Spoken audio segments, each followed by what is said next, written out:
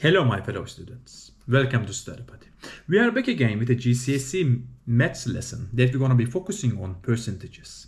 Because in our last lesson we were able to focus on how we are going to approach to a scientific notation or also known as standard notation. Yeah, And in this one we will be looking at how to do percentages. And you know percentages is a topic that will come up with a lot in numbers, numbers theories and so on. And then we will look into our percentages at the moment. And what is a percentage? Okay, let's just write it together. A percentage is a way to write a number with respect to a fraction of 100. Okay, so if you have 5 percentage, this means that you will have 5 over divided by 100 okay the reason these percentages are used they most of the time given to you as in terms of probabilities or in order to understand what type of chance that you have to win so if i say you 50 percentage of the time you win you know that maybe every time that you try you either lose or win with a with an equal rate. So maybe you try to win 10 times you are probably gonna win around 5 times. This is what 50 percentage is all about. Either win or you lose. What happens if you lose with 100 percentage you know that this is 1. This will always happen. So you always lose in this case scenario if you are losing with 100 percentage. Okay. This is the way that you can simplify and analyze data in a much easier way without saying like, you know, every five of the second chance and stuff. You can just say in, in percentages. You can say you have an accuracy of, for instance, 94 percentage when it comes to solving your mathematics exams yeah and then we know that you will get around 94 divided by 100 in this case scenario. But let's say like your result is not 100 here. Well, it is not the maximum is 100 here. Let's say like it is 70. Then all you need to do is that you need to multiply 90, 94 divided by 100 multiplied by 70. Simple as that. Then you will convert to them. Let's just do it together if we can approach to it here as well. Let's just open our calculator. You know that in the 70 case scenario, you're just gonna say 70 multiplied by 0.94, boom, you got 65.8. That's the way that you can convert them, okay? So let's just look at some examples here together with you. I want you to convert a percentage to a decimal value, yeah? And I want you to say a percentage of 50 percentage. I want to give it to us, I want you to give me to us as decimal value. How can you approach to here here? We know that percentages means write them in a fraction of 100, yeah? So you have 500 sorry, 50 divided by 100. Yeah, this would be what? 5 over 10. This will also be equal to 1 over 2. So you can say 0.5. Okay, 50 percentage is 0.5 when it comes to its decimal value. Okay, let's go to our second question here, which is going to be 0.75 percentage. Okay, I want you to say it again. It's 0.75, not 75. Okay, that's the most important thing. If this was 75 percentage, you know that this would be directly 0.75 because it was 50 became 0.5 75 must be 0.75 okay this is the way that we are going but this is 0.075 so you must multiply this by 0.01 because you know the dot moved two to the right that's why okay? Now let's just look into a different one and i want you to say me what will be the number if it was 3 divided by 4 okay? 3 divided by 4 i want you to convert them into a this into a percentage from fractions from a decimal. You know that 3 divided by 4 is basically what? Multiply this by 25 okay? It will be 75 divided by 100 which is 75 percentage. Okay, that is right. This is the same question as different way. Okay, let's just go to our last one. And in this one, I want you to find out the percentage of, for instance, 0.5. Yeah, we, we know that we can write this as basically 50 percentage. Yeah, I want you to do the same thing for 0.9. How can you convert to a, a percentage? You can say this is going to be equal to 90 percentage. Okay. That's the way that you can write them. This is excellent. Now I want you to go through about some use cases of percentages. They are not just given to you as convert them to a fraction, convert to this, convert to that. No, they are not going to be asking in that manner. They are generally asked in type of questions where you need to find, for instance, I want you to find out how much money that you will have if you have 50 pounds, okay, and you had an interest rate of 20 percentage, okay, with interest okay, with interest rate of 20%. That's the type of the questions that you will come up with.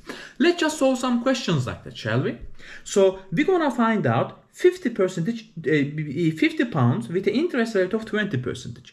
This means that your 50 pound at the end of the day will be become one 1.2 times bigger than your 50. Why?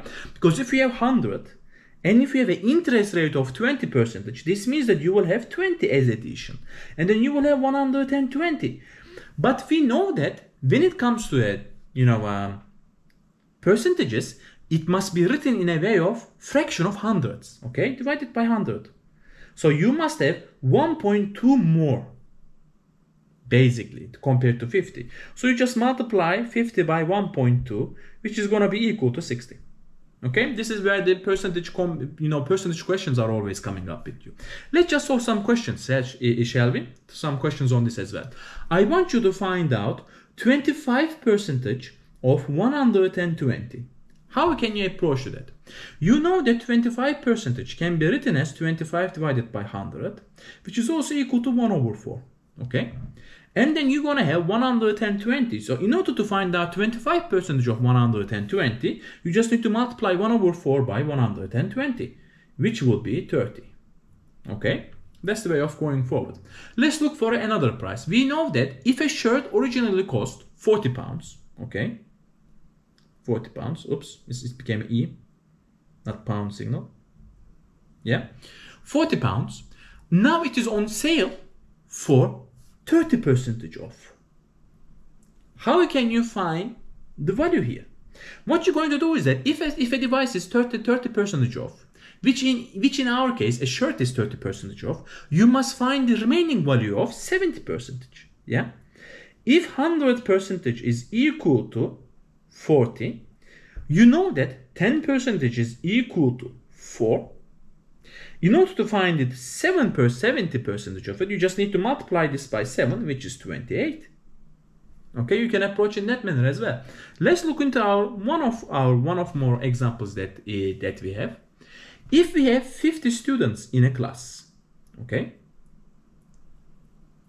oops, in a class, we know that 15 of them are female.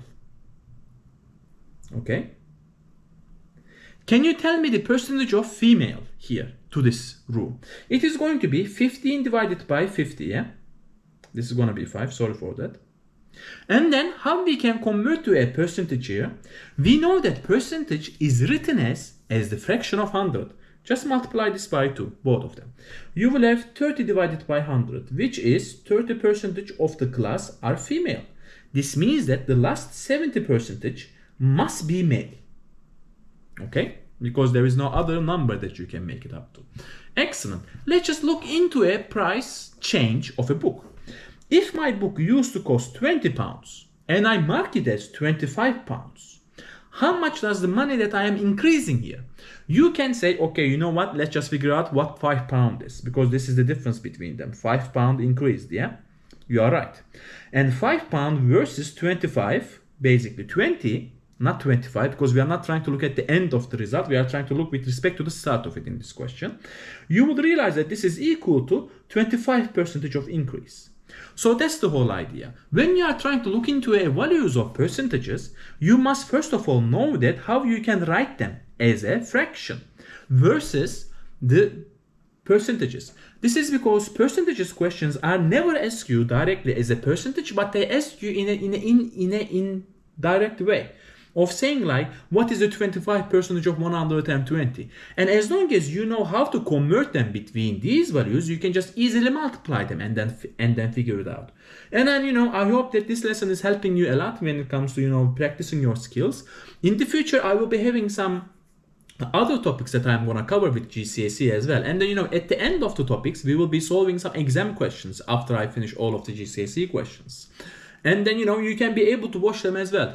Uh, so in this case you just need to you know tuned on and then you know we will be doing these videos for like uh, for the upcoming future. And i have so many content planned for it. So you know i hope that you're enjoying it. And then you know if you want to have any you know private lessons i like as i mentioned you before my details are in the uh, description down below. And then also if you want to have you know uh, any questions or you have any suggestions please leave them into you know the comments. And i will reply to you as soon as possible and then also, just before we leave, if you like my lesson, you know, hit that subscribe button and then hit that um, hit that notification bell, and then I will see you in our next one.